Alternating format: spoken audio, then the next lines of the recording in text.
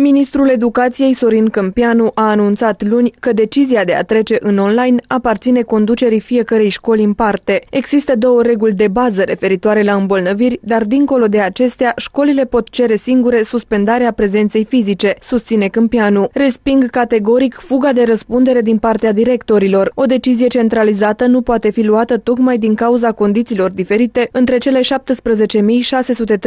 de școli din România, a mai spus acesta în cadrul unei unei conferințe de presă.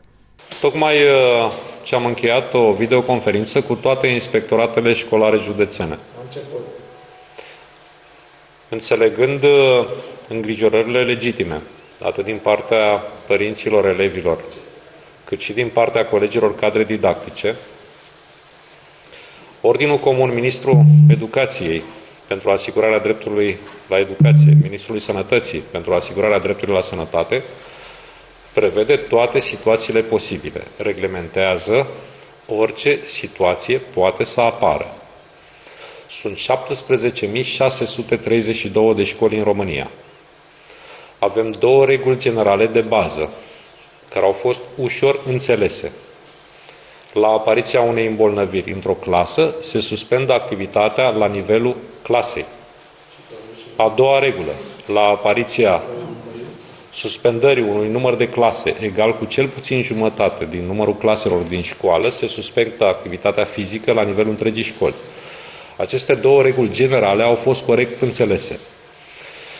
Dar avem, pe de altă parte, articolul 6, aliniatul 9 și articolul 3, aliniatul 2, care reglementează situațiile specifice mult diferite de la o școală la alta, de la un județ la altul. Cu titlul de exemplu, am adus aceste clarificări în videoconferința cu inspectorii școlari generali. Situația este diferită într-o școală în care rata de infectare este peste 6 la mie, este 6,1 la mie și într-o școală în care rata de infectare în localitate este 18, 19 sau 20 la mie. Situația este diferită într-o școală în care avem un caz de îmbolnăvire sau de carantinare în rândul cadrelor didactice sau niciun caz față de situația în care avem 10-15 cazuri de îmbolnăvire. Aceste lucruri pot fi cunoscute doar la nivelul școlii. 3.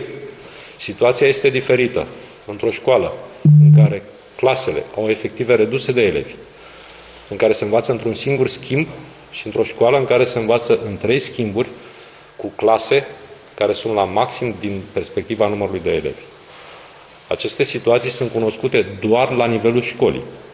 Și atunci, separat de regulile generale, cunoscute, cele două, avem posibilitatea trecerii în online a oricărei școli din România, emite această solicitare prin conducerea școlii, care este singura capabilă să cunoască realitățile din acea școală, situația fiind solicitare în baza articolului 3 aliniatul 2 către Inspectoratul Școlar Județean, respectiv Inspectoratul Școlar al Municipiului București, care, din lipsă de resurse, nu ai suficient de cadre didactice pentru că sunt în carantină sau sunt infectați, deci nu pot veni la școală cu prezență fizică.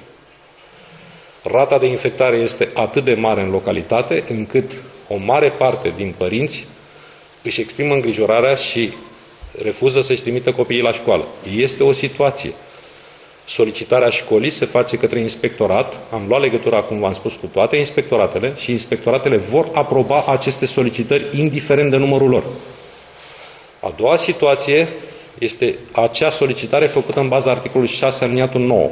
Situație în care, abia atunci, este nevoie de avizul DSP și de hotărârea Comitetului Județean pentru Situații de Urgență, respectiv a Comitetului Municipal pentru Situații de Urgență. În concluzie, toate inspectoratele școlare județene au înțeles în urma acestei conferințe modul în care trebuie să aplice prevederile Ordinului Comun Ministrul Educației Ministrul Sănătății, care acoperă într-adevăr toate situațiile posibile. Resping categoric acea fugă de răspundere manifestată în puține situații, dar manifestată din partea unor directori de școli care, neînțelegând că atunci când ești directorul unei școli, ți-ai asumat responsabilitatea gestionării situației din acea școală și așteaptă la nivel uniform o decizie centralizată. O decizie centralizată, repet, care nu poate fi luată tocmai din cauza condițiilor diferite între cele 17.632 de școli. Vă stau la dispoziție cu întrebări.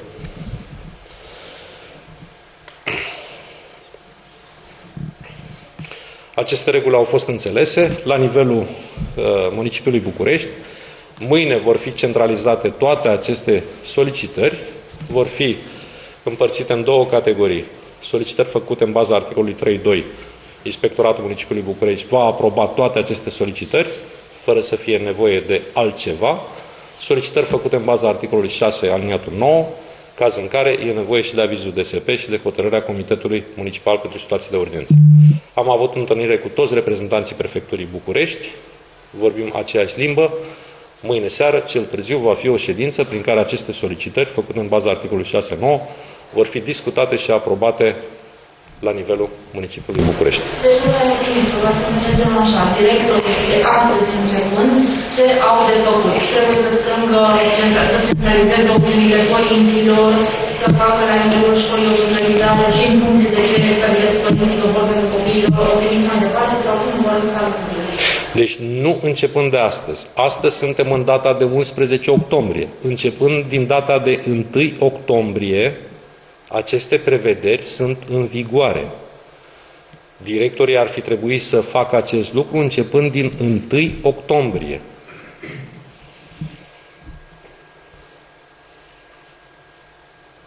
E nevoie de precizări suplimentare? Este greu de înțeles două reguli generale și alte două reguli, 3 aliniatul 2, 6 aliniatul 9, specifice, care depind de situația specifică din școală de numărul de infectări din școală, de nivelul de infectare din localitate, de disponibilitatea profesorilor, de numărul de schimburi în care se învață, de numărul de elevi în clasă, de numărul de părinți care refuză să-și trimită copiii în clasă. Astea sunt lucruri care pot fi cunoscute doar la nivelul școlii. Nu pot fi cunoscute la nivelul Ministerului pentru o decizie corectă și nici măcar la nivelul inspectoratului. Este o răspundere a școlii directorii școlii și Consiliul de Administrație al școlii au datoria și responsabilitatea să cunoască situația din școală. De aceea și-au asumat conducerea și destinele unei școli. Lucru pe care îl vom verifica și cu ocazia concursului pentru ocuparea postului de director, după data de 15 octombrie, când vom avea proba scrisă, nivelul de înțelegere al candidaților care vor să fie directori de școli cu privire la responsabilitatea pe care și-o asumă, va fi verificat în cadrul probei de interviu. Da, așteptăm și situația, am solicitat CNCAV, uh, situația numărului de elevi vaccinați. Aveam la ultima raportare, miercuri, un număr de 235.000 de elevi vaccinați, cea mai mare parte în categoria de vârstă 16-19 ani și uh, în scurt timp vom avea informare CNCAF cu numărul de elevi vaccinați la nivelul zilei de astăzi. Miercuri vom raporta și numărul de infectări în rândul elevilor și în rândul personalului din, uh, din învățământ. Și în ceea ce privește de profesori, numărul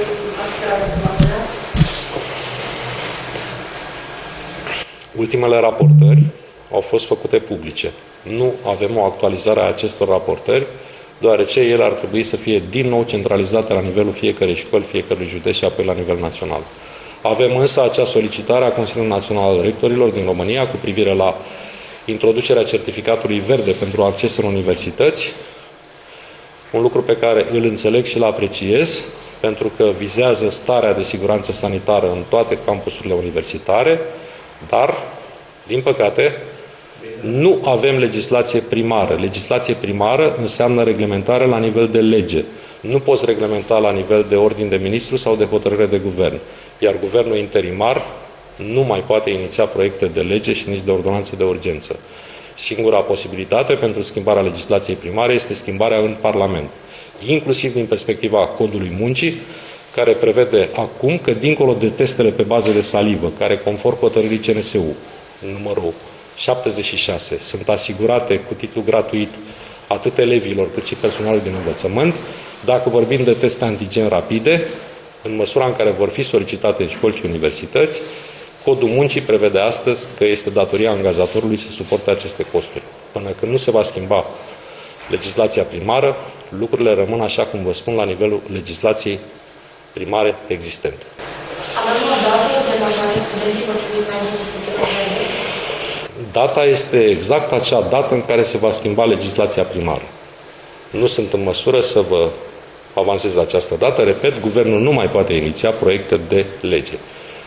Veți vedea când se va schimba în Parlament, dacă va exista o majoritate politică doritoare să schimbe legislația, atunci se va schimba. Domnule ministru, ce le transmiteți dumneavoastră în acest moment acelor părinți care susțin copiii acasă, până cei directori vor lua o decizie cu privire la funcționarea școlilor? Ce ar trebui să facă acești părinți până la o decizie directorului? Am spus că înțeleg îngrijorarea legitimă, îngrijorarea pe care o consider legitimă din partea părinților care au copii în școli în care rata de infectare este foarte mare. În același timp însă, știut fiind faptul că molurile și multe alte activități sunt deschise, îmi place să cred că acei părinți care se îngrijorează cu privire la siguranța copiilor trimiși în școală, se vor îngrijora și cu privire la trimiterea copiilor în alte colectivități în care activitățile sunt permise. Acele controle în școli formate din echipe mixte de la DSP, de la fac în acest moment, sau cel puțin asta mi spun foarte mulți profesori, foarte mulți părinți, și mai apoi părinții că tot ei și profesorii sunt cei care fac acea întâlnire pentru că trebuie să se ocupă. Știți despre aceste lucruri, ce se va întâmpla, vor fi sancționați cei care nu fac aceste verificări? Autoritatea Ministerului Educației este asupra sistemului de educație.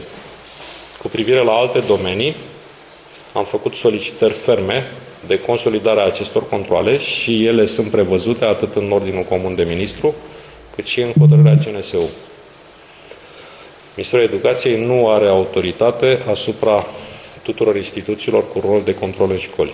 Din perspectiva Ministerului Educației, inspectoratele școlare județene au făcut aceste controle în școli pentru respectarea regulilor de protecție sanitară.